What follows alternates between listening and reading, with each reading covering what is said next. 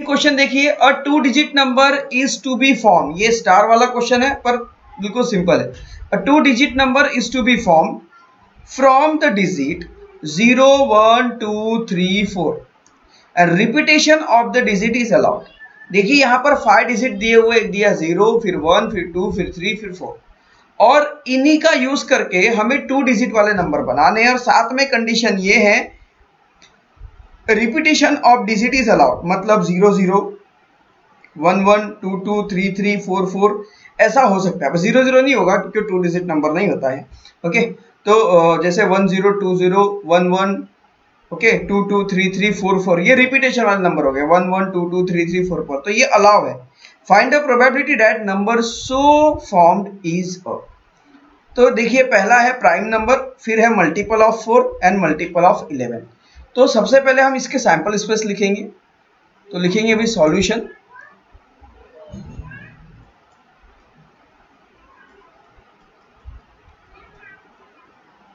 to a two digit numbers to be form a two digit number is to be formed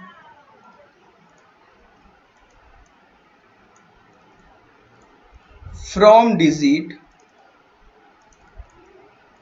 0 1 2 3 4 okay तो sample space क्या हो जाएगा students sample space is equals to देखिए two digit वाले तो zero सामने हो नहीं सकता।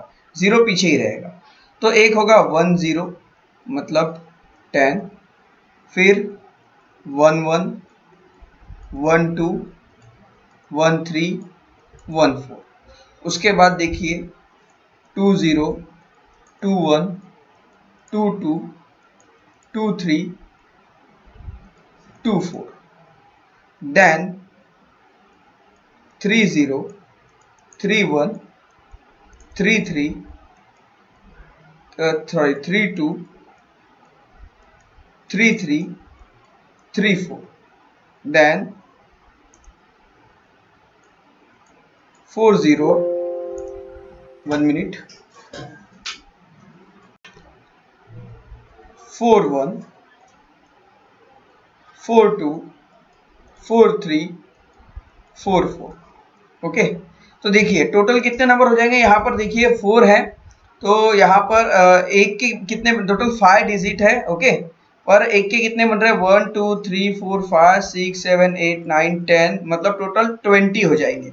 So number of sample space is equals to twenty इसके अंदर ट्वेंटी डिजिट हो गया भाई। तो सैंपल स्पेस हमें मिल चुका है। अब देखिए, अब क्या करना है हमें? पहली कंडीशन है प्राइम नंबर तो लिखेंगे let event A event A is a prime number.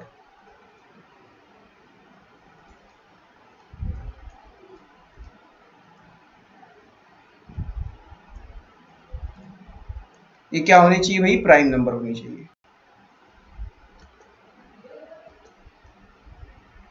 तो देखिए, यहाँ पर क्या हो जाएगा? A is equals to A is equals देखिए प्राइम नंबर यहाँ पर हमें फाइंड आउट करना है। तो प्राइम नंबर कौन से देखिए? Eleven is a prime number thirteen also prime number fourteen twenty one नहीं है twenty three is a prime number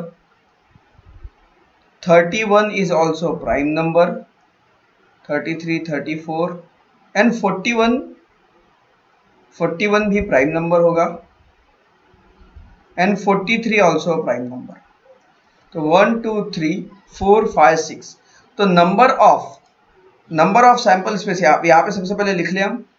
Eleven, thirteen, twenty three, thirty one, forty one, forty three. So number of A is equals to six अब क्या करना है भाई? हमें इसकी probability find out करनी है।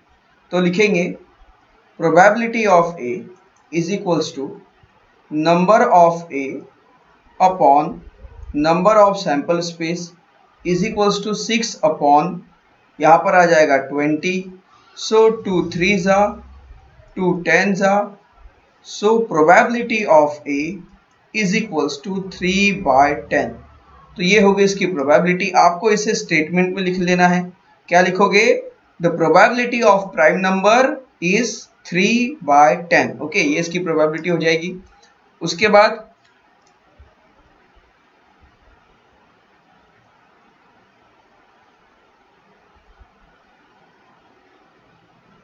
देखिए नेक्स्ट कंडीशन हमारी मल्टीपल ऑफ़ फोर फोर के मल्टीपल वाले नंबर चाहिए हमें। ओके तो फोर के मल्टीपल वाले नंबर के लिए अब क्या करेंगे? सर्कल बना लेते हैं यहाँ पर। ओके सर्कल में उसे हम पैक कर देंगे। तो यहाँ लिखेंगे सेकेंड है।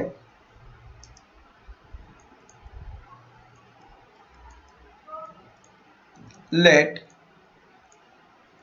event b is a is multiple multiple of four four के मल्टीपल वाले नंबर यहाँ पे फाइंड आउट करने। तो फोर के मल्टीपल वाले नंबर कौन से होंगे? देखिए। एक तो होगा भाई ट्वेल्व। ओके, ट्वेंटी भी आता है, ट्वेंटी फोर भी है, ओके देन थर्टी टू भी है थर्टी नहीं थर्टी फोर नहीं है फोर्टी है फोर्टी फोर भी है। One two three four five six तो ये भी आ गया सिक्स तो यहाँ लिख लेंगे B is equals to 12, 20, 24, 32, 12, 12, 20, 12, 20, 24, 32, 40 and 44. So number of B number of b is equals to 6 probability of B is equals to six by twenty तो ये भी हो जाएगा probability of B is equals to three by ten इसे भी आपको statement में लिख लेना है।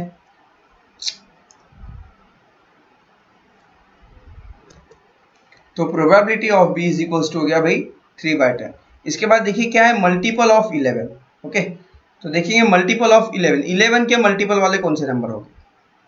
क्या लिखेंगे।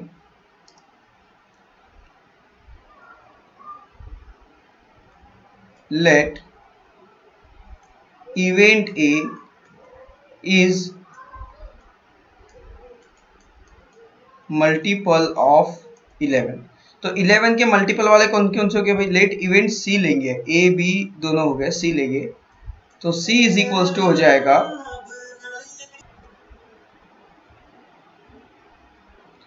तो आइए अब इसकी थोड़ी थर्ड कंडीशन करते हैं। थर्ड कंडीशन है मल्टीपल ऑफ़ इलेवन तो लिखेंगे let event A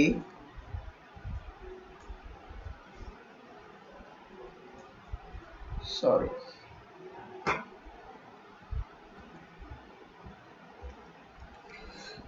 let event c is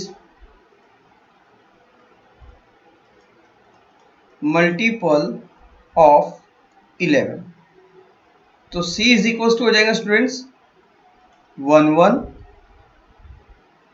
two two three three four four okay यही हो सकता है। तो यहाँ पर देखिए आगे क्या हो जाएगा भाई?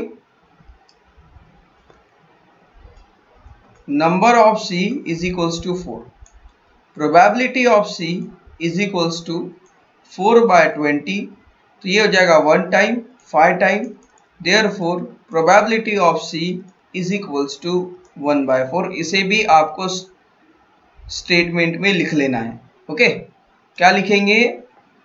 The probability of probability of a number multiple of eleven that is one by four sorry one by five one by five देखिए बस इस तरह से क्वेश्चन को करना था।